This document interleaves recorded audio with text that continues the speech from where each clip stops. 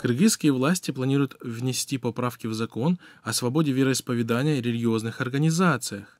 Согласно поправкам, несовершеннолетним детям будет разрешено посещать мечети только в сопровождении родителей или с их разрешения, а все молельные комнаты поставят на учет. Мы перекладываем ответственность как на представителей религиозных организаций, если к ним на ритуалы приходят дети несовершеннолетние, они должны быть в курсе, есть у этого ребенка согласие родителей или нету. Если этого согласия нету, то ответственность ложится на религиозного деятеля.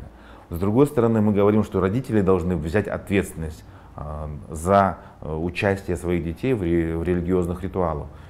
Они должны смотреть, знать, где их ребенок находится. А бывают случаи, когда дети без разрешения родителей убегают с уроков и участвуют в какой-то определенной религиозной деятельности. Также, согласно предлагаемым поправкам, будет обязательным лицензирование или сертификация всех религиозных учебных заведений. Впервые в законе также появляется термин «молельная комната». Следует заметить, что аналогичные законы уже имеются практически во всех республиках Центральной Азии, в которых преследования в отношении религии ведутся на гораздо более высоком уровне.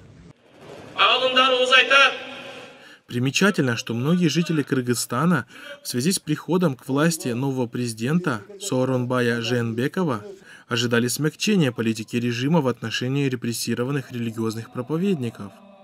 Эксперты считают, что эти ожидания, очевидно, безответны, что в принципе и неудивительно, учитывая тот факт, что Жээнбеков является ставленником предыдущего президента, который в свою очередь явно проявил себя как проводник интересов России в Кыргызстане. В том, что мы, Кыргызская республика, твердо намерены, нацелены укреплять наши взаимоотношения.